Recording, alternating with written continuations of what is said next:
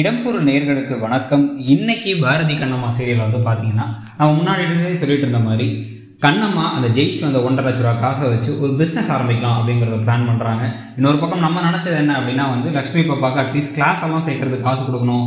அந்த swimming class அந்த மாதிரி கராத்தே கிளாஸ்லாம் ஆசைப்பட்டதுக்கு அதுக்கு ஒன்றும் பெருசாக ஆகாது. ஸோ அதை கொடுத்தா நல்லாயிருக்கும் அதை தாண்டி வந்து நம்ம ஆசைப்பட்ட விஷயம் வந்து ஒரு பிஸ்னஸ் ஆரம்பிச்சு இவங்க வந்து அந்த தெலுங்கு வருஷன் மாதிரிலாம் இல்லாமல் ஏழையெல்லாம் இல்லாமல் தனியாக ஒரு பொண்ணு இருந்தாலும் சாதிக்க முடியும் அப்படிங்கிற மாதிரி கொஞ்சம் கொஞ்சமாக படிப்படியாக உயரணும்னு நினச்சோம். அதே மாதிரி விஷயத்தோட ஆரம்பம் தான் இன்றைக்கி ஆரம்பிச்சிருக்காங்க. ஸோ அவங்க என்ன பிஸ்னஸ் ஆரம்பிப்பாங்க? கேட்ரிங்கா இல்லை தையலா அப்படிங்கிறத நம்ம பொறுத்திருந்து பார்க்கலாம். ஸோ இதுக்கப்புறம் இது இல்லாமல் பார்த்தீங்கன்னா புது ப்ரோமோ வந்துருச்சு. இந்த ப்ரோமோ வந்து நம்ம ஏற்கனவே நேற்று ஒரு வீடியோலேயே சொல்லியிருந்தோம்.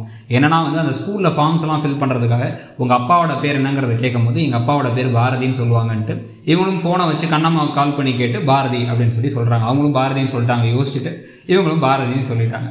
இதுக்கப்புறம் என்ன நடக்க போகுது அப்படிங்கிறது தான் நம்ம எல்லாத்துடைய முக்கியமான கேள்வியாக இருந்துச்சு. என்னென்னா வந்து இப்போ பாரதின்னு சொன்ன உடனே டக்குனு அவருக்கு சந்தேகம் வந்துருமா? ஏன்னா பாரதிங்கிறது இப்போல்லாம் வந்து பார்த்திங்கன்னா அவ்வளோ காமனான பேர் இல்லை. ஓரளவு காமனான பேர் ஆனால் ரொம்பலாம் காமனான பேர் இல்லை.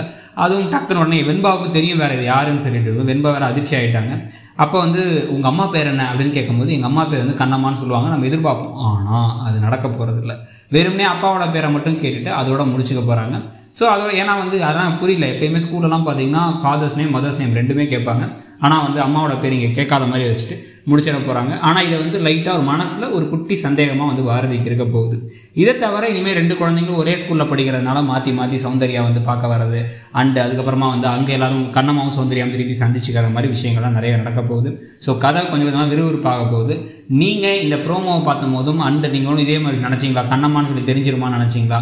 இல்லை எப்படியும் தெரியாதுங்க இன்னும் கொஞ்சம் நாள் ஆகும் இருக்கலாம் அப்படின்னு நினைக்கிறீங்க நினச்சிங்களா? கமெண்ட் செக்ஷனில் சொல்லுங்கள் இதுக்கப்புறம் கதை எப்படி போகணும் கண்ணம்மாவும் பெரிய ஆளாகி கட கடன்னு வளர்ந்துட்டே வந்து அவங்க வாங்குற அவார்டெல்லாம் வந்து பாரதி கொடுக்குற மாதிரி வந்து அவரே வந்து ஷாக் ஆகிற மாதிரி வரணும்னு நினைக்கிறீங்களா?